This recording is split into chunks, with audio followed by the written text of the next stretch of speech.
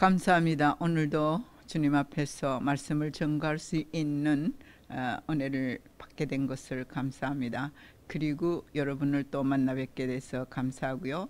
또 오늘 전가할 말씀을 또 대독해 드리면서 오늘 또 여러분과 함께 은혜 나누기를 원합니다. 오늘 드릴 말씀은 계시록 3장 20절 말씀.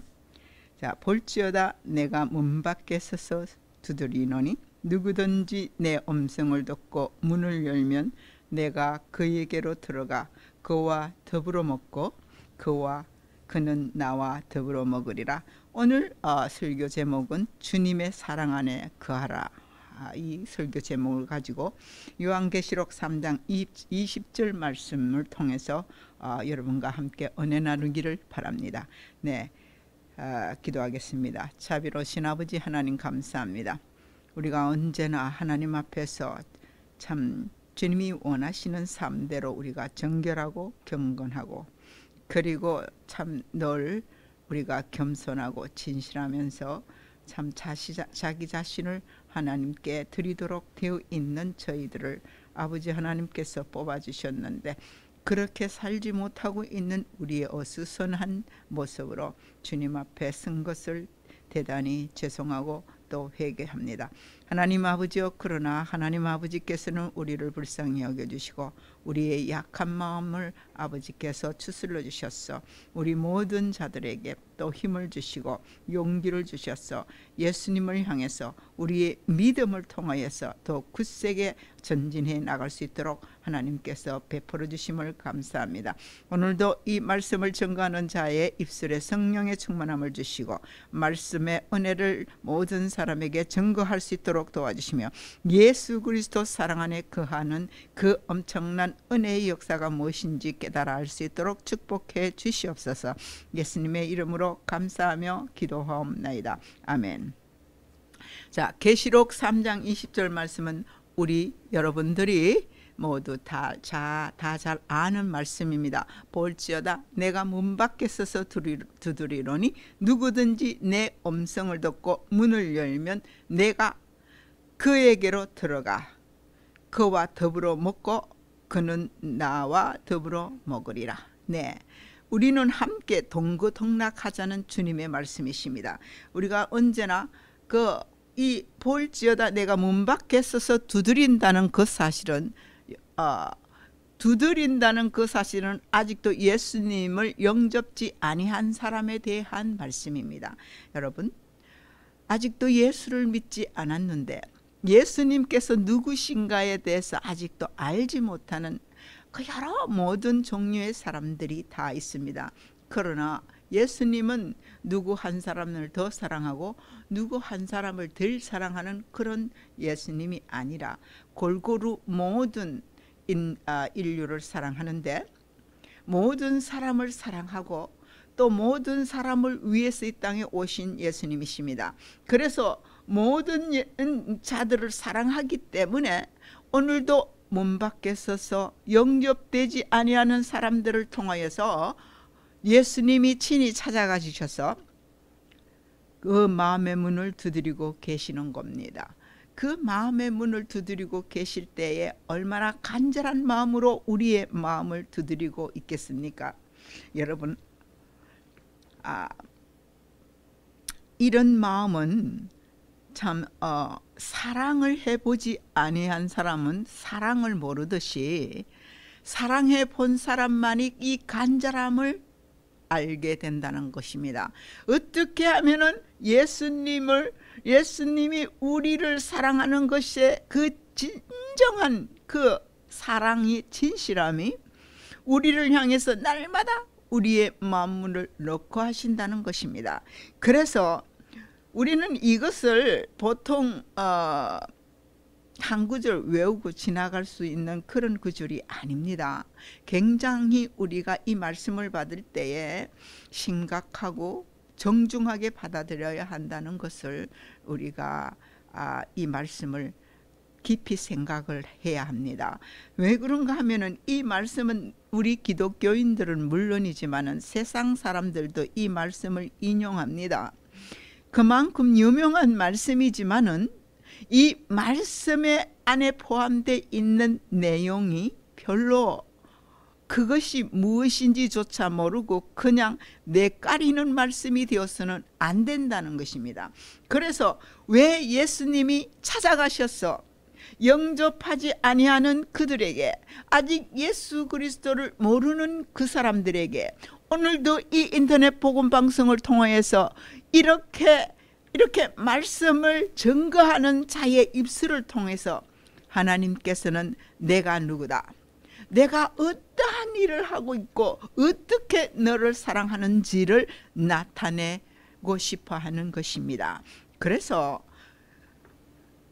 세상에 있는 모든 그런 학문과 지식을 통해서 말씀하는 게 아니라 우리에게 그래서 성경을 통해서 성경 66권을 통해서 우리가 확신할 수 있는 말씀 하나님이 변 변절되지 아니하는 말씀 언제나 변함이 없는 말씀을 통해서 이 진리의 말씀을 통해서 우리가 그 말씀 안에서 우리의 생활이 경건한 생활뿐만이 아니고 우리가 보다도 하나님과 함께하는 생활 그래서 예수님을 이 땅에 육신 하나님이 육신을 입고 오신 그 예수님을 통해서 사랑을 깨달으라.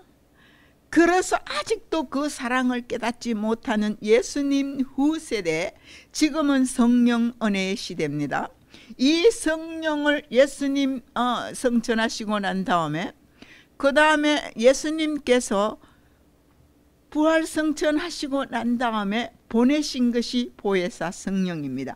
이 성령 예수님을 믿는 자들에게는 어김없이 그 성령이 내주하고 있다고 누누이 말씀하고 있습니다. 그런데 아직도 예수 그리스도를 모르는 사람들 내가 문 밖에 서서 두드린다고 이 말씀을 하는 것은 바로 예수님께서 영 아직도 모르는 그 사람 그 예수님이 왜 오셨느냐 예수님의 그 사랑이 어떤 것인가에 대해서 모르기 때문에 아직도 그것을 알려주려고 찾아오셔서 문을 두드리십니다. 계속 두드리십니다. 그래서 영접하 예, 두드리는 그 문, 그 음성을 듣고 문을 열어서 영접하면 그에게로 들어가서 예수님 그에게로 들어가서 그를 잡고 그를 주관하고 그를 온전히 이끌어서 나의 종이 되게 해서 내가 그를 운동 운영하리라 이게 아닙니다. 내가 그에게로 들어가서 그와 더불어 먹고 그는 나로 나와 더불어 먹으리라.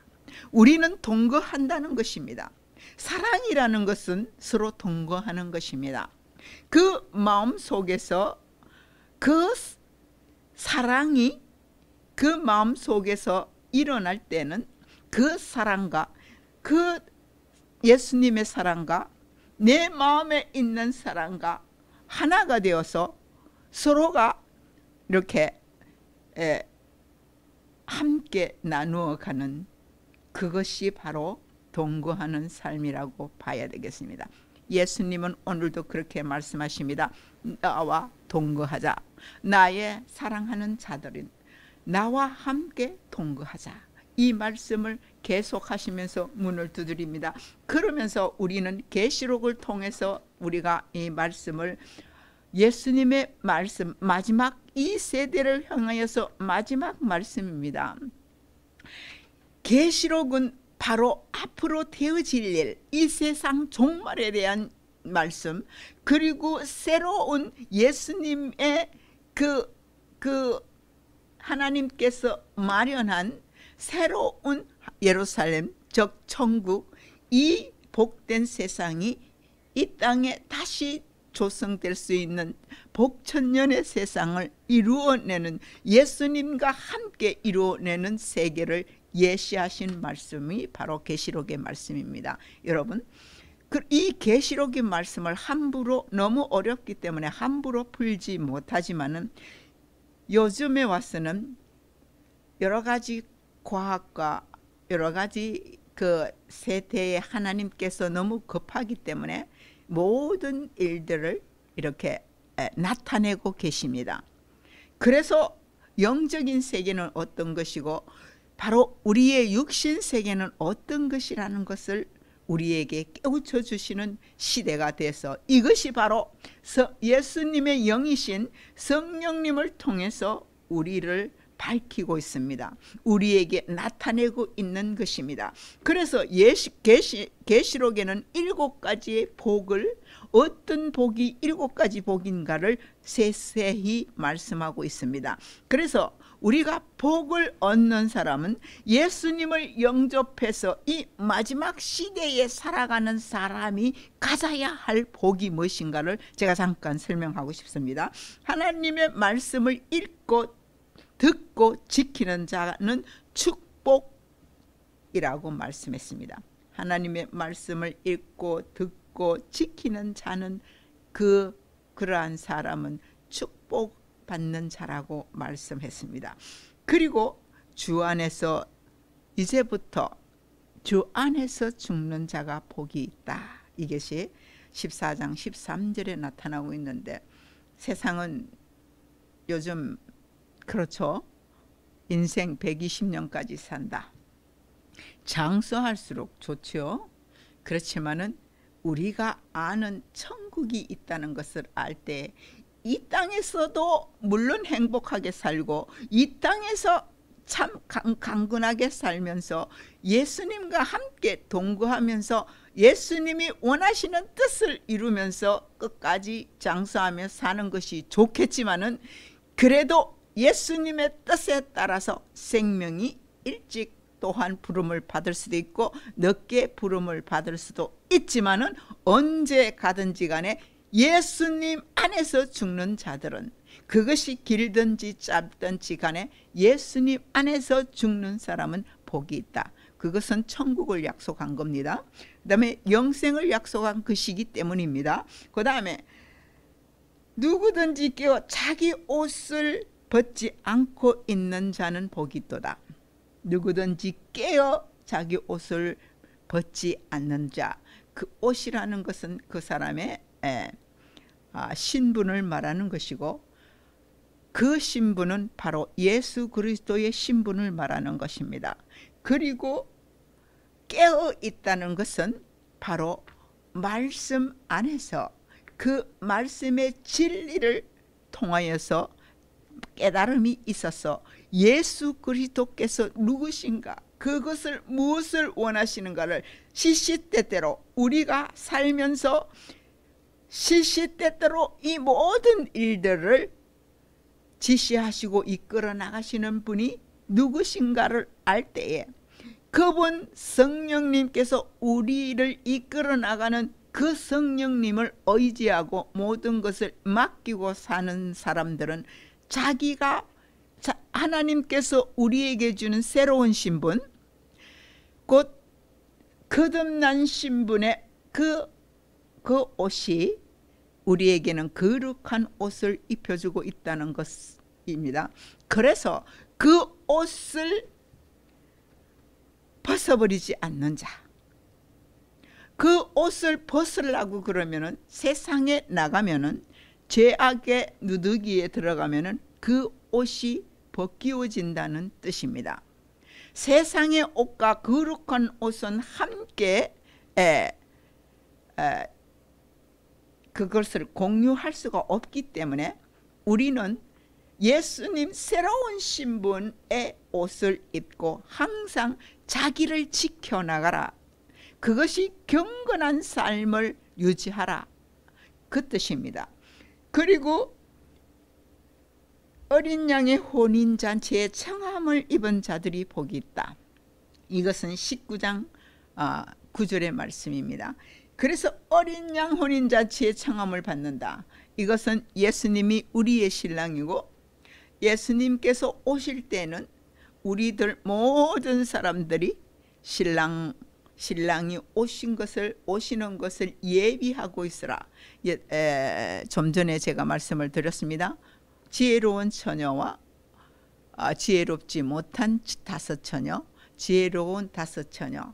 그래서 신랑이 오시기를 기다리는데 지혜로운 처녀는 등불과 기름을 준비했고 어리석은 처녀는 등불만 준비하고 기다리다가 신랑이 더디움으로 등불이 꺼져가므로 그 기름을 준비하지 못해서 기름을 좀 달라고 청구했지만은 그들도 쓸 분량이 못 되니까 어, 결국은 사로 나가는 사이에 신랑이 와서 잔치가 아, 일어나고 있었다. 청함은 받았지만은 예비하지 않는 마음 그리고 깨닫지 못한 마음 이 모든 사람들은 예비할 수가 없어요.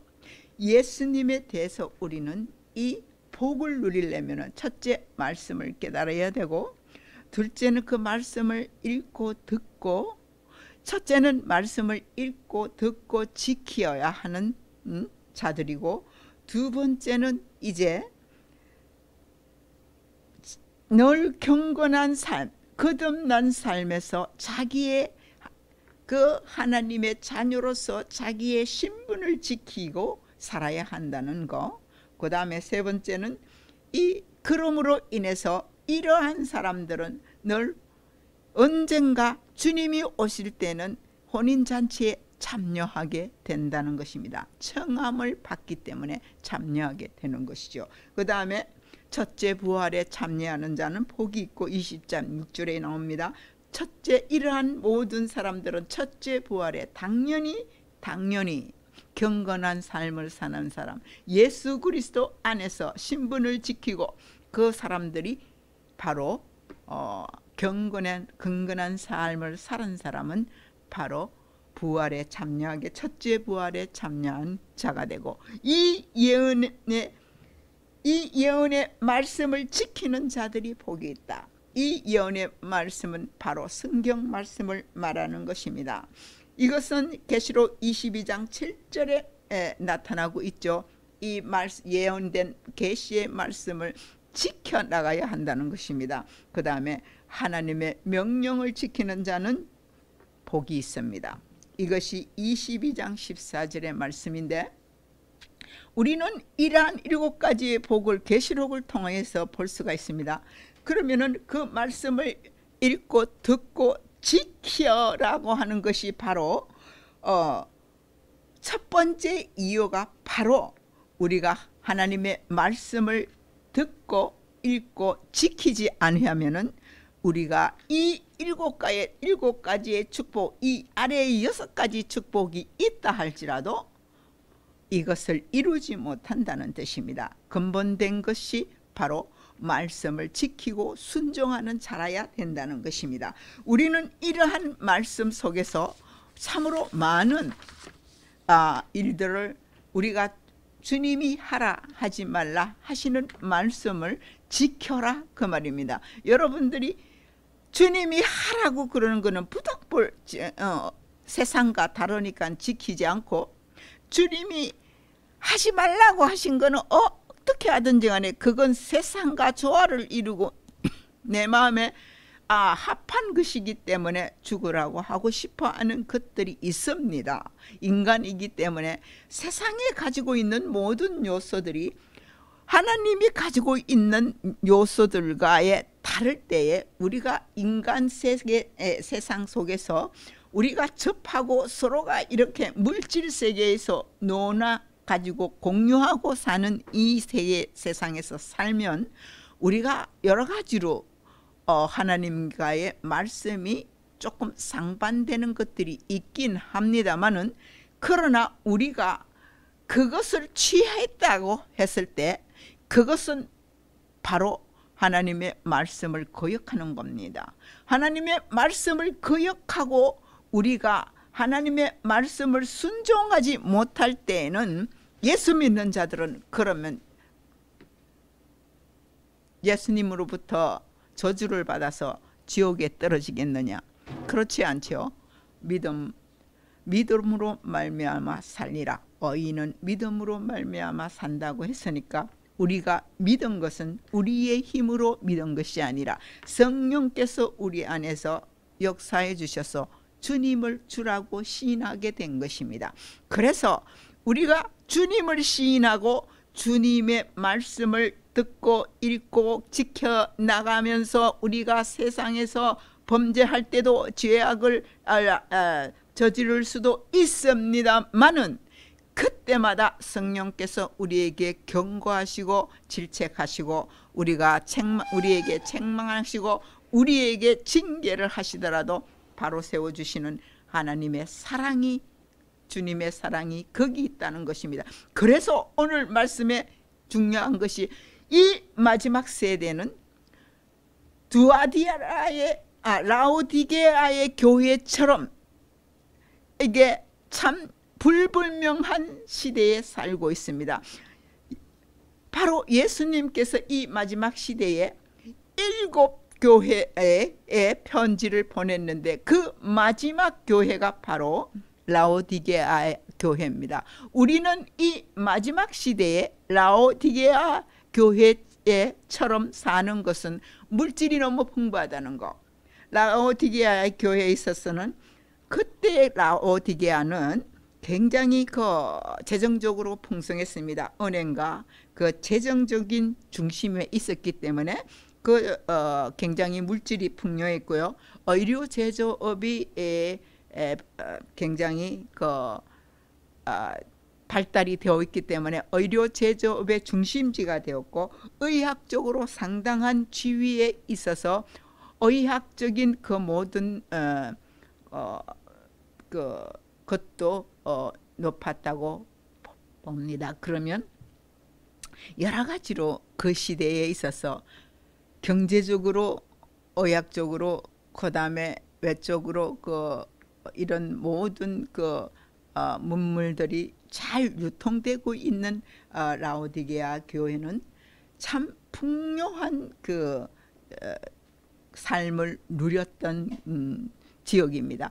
그래서 이 사람들이 뭐라고 말하고 있습니까마는 적당히 하자. 어디에 에, 너무 집착하지 말고 너무 어, 이런 일에 대해서 어, 너무 어, 마음을 두지 말고 한쪽에 치우치지 말고 적당히 하는 것이 가장 좋은 것이다 라고 생각했던 사람들이 이 시대 사람인데 그 시대가 바로 지금 우리 시대입니다. 바로 물질 만능 시대가 오지 않았습니까? 바로 우리가 모든 일에 자 아, 과학적 모든 것에 만능이 왔지요. 물질 만능이 왔지요. 그리고 우리가 행하는 모든 일에 우리가 지식적인 모든 일에 만능이 왔습니다. 그러면 이런 우리 시대에 살고 있는 데 있어서 가장 중요한 것은 무엇입니까? 핵심적인 진리를 외면하게 되고 누구나 다 상대방에게 있어서 어, 적극적인 자세를 취하지 말고 적당하게 중간 지점에서 적당하게 취하게 하는 것이 가장 좋은 방법이라고 가르치고 있습니다. 세상에는 그런데 예수님이 말씀하시기를 내가 차갑든지 덥든지 해라. 차갑든지 덥든지 하지 않고 미지근하면은 내가 너를 토해내 칠까 하노라. 왜냐하면은 차든지 뜨겁든지 하면은 분명하기 때문에 이것은 예수님이 이것에 대해서 가르치고 저것에 대해서 이렇게 분명하게 이렇게 정기 정리될 수가 있는데 미지근해서 이것도 아니고 저것도 하고 땡기면 늘어지고 예 놓으면 늘어지고 땡기면 늘어지고 놓으면 아 들려 올려오고 뭐 이런 정도의 그 어, 삶을 살아간다는 것은 너무나 아, 그 영혼이 부패된 만성의 만성 질병에 걸렸다고 봐야 된다는 것입니다. 그래서 우리는 예수님이 우리를 향해서 사랑을 고백하는 것입니다. 내가 문 밖에 서서 두드리노니 이러한 사람들을 통해서 미지근하여서 내가 참으로 내 속에서 메시꺼워서 견딜 수가 없어서 토해내쳐 칠 지경이 되었는데 뜨거워라 차가워라. 그러면 둘 중에 하나를 내가 관리하겠다.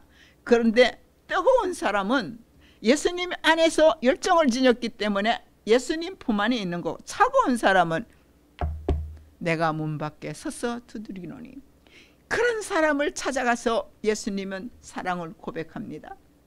내가 문 밖에 서서 두드리느니 내 음성을 듣고 문을 열면 내가 그에게로 들어가서 그와 나는 그와 더불어 먹고 그는 나와 더불어 먹으리라.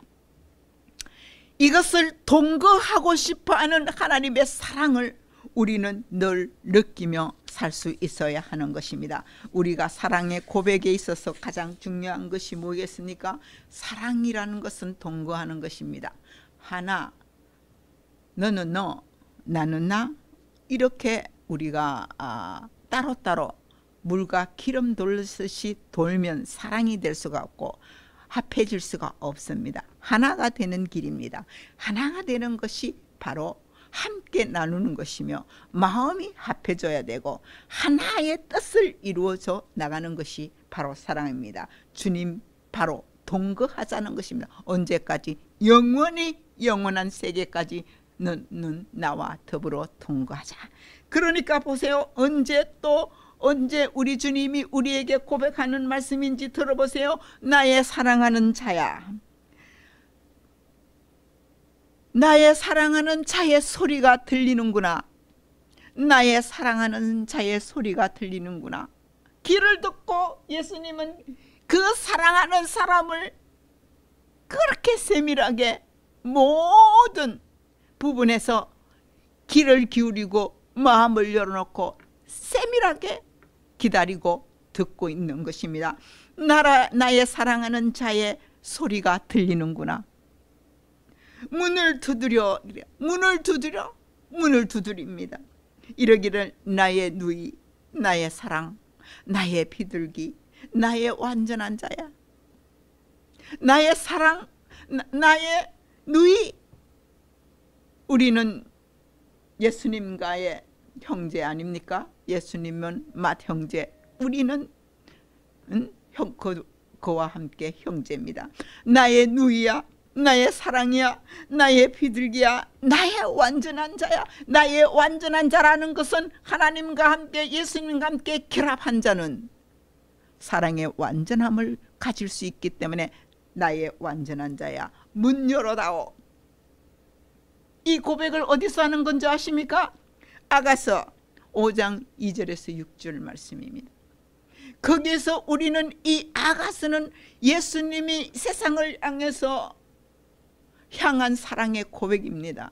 그것이 이성적인 표현으로 말합니다만은 이성적인 표현이 세상의 교회들을 향해서 세상에 사랑하는 하나님의 백성들을 통해서 세상에 있는 예수님이 친히 뭐 피와 물을 흘려서 그 사랑을 나누어 가진 사람들을 위해서 나의 사랑하는 자야 나의 사랑하는 자의 소리가 들린다 그러니까는 우리가 움직일 때마다 그러니까 우리가 우리가 마음을 조금이라도 열어놓기만 하면 예수님은 사랑하는 자의 소리를 듣고 문을 두들긴다 그 말입니다. 우리의 마음이 예수님을 향하여 있을 때 벌써 예수님은 우리에게 우리에게 다가와서 사랑하는 자야 문 열어다오. 사랑하는 자의 소리가 들리는구나. 이렇게 고백을 하면서 문 열어 타고 라고 말하는 그 예수님의 고백을 오늘도 우리는 예수님과 동떨어져서 살 수 없는 사람들 우리는 그 예수님 안에서 하나로 이루어져서 영원한 생명에 이르는 우리 믿는 사람이라는 것 예, 거듭난 사람이라는 것. 그래서 아직도 세상에 있는 사람이 아직도 범죄한 가운데 있는 사람 아직도 은혜를 모르는 사람이면 예수님께로 돌아와서 이 예수님의 사랑의 고백을 들으시기를 예수님의 이름으로 축복하고 기도합니다. 자비로우신 아버지 하나님 감사합니다. 우리 주님은 오늘도 사랑하는 자를 부르십니다. 나의 사랑하는 자의 소리가 들리는구나. 문 열어 다오. 나의 사, 나의 누이 나의 사랑하는 자 나의 비둘기 나의 완전한 자라고 우리를 높여서 너무나 아름다운 아름다운 하나님의 귀한 사랑의 음성을 들려주셔서 간절히 간절히 우리에게 사랑의 고백을 하면서 문 열어 달라고 고백하시는 예수님. 오늘 우리의 마음을 열어서 그 예수님의 사랑과 우리가 합하여져서 내가 문 밖에 서서 두드리노니 내가 문, 내 음성을 듣고 문을 열면 내가 그에게로 들어가서 그와 더불어 먹고 그는 나와 더불어 먹으리라. 이 말씀의 고백이 하나님 모든 사람들에게 증거되게 하여 주시고 예수님은 오늘도 우리를 향해서 두드리고 문을 두드리고 기다리고 계심을 깨달아 알아. 우리가 회개하고 속히 세상에서 돌아와서 우리 주님 영접하기를 소원합니다. 주 예수 그리스도를 믿으라 그리하면 너와 내 집이 구원을 받으리라 하신 말씀을 깨닫게 하여 주시옵소서. 모든 자들이 모든 자들이 예수님을 믿고 구원받아서 우리의 함께 동거하는 귀한 영원한 생명을 누릴 수 있도록 축복해 주시옵소서. 예수님의 이름으로 감사하며 기도하옵나이다. 아멘.